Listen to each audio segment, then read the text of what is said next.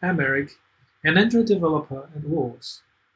Want to have an awesome user experience on loading big datasets with minimum resource overhead for your apps? As part of this MAD Skill series on paging, I'm super excited to share with you how we at Wars use the Jetpack paging library to make developing apps much easier.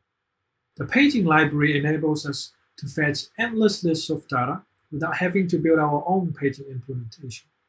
It blends in perfectly with a lot of first-class Android components like recycler views, live data, and Kotlin flows, which means we can concentrate on the app itself instead of worrying about how to work with Android.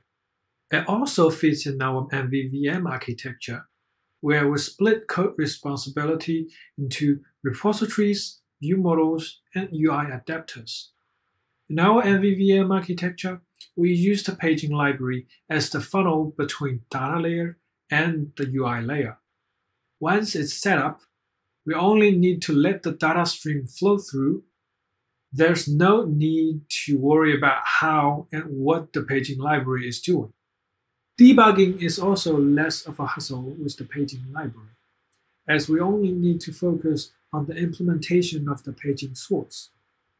Usage of breakpoints inside a paging source allows us to gain a lot of insights because they are just suspending functions. Other considerations, such as ways of dealing with configuration changes, are all bundled inside the paging library, along with tons of useful APIs that design to fit most of our needs.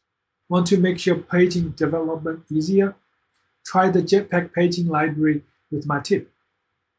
Coming up next on this Skill series is a live Q&A on Thursday, where the Android team will answer your questions on paging.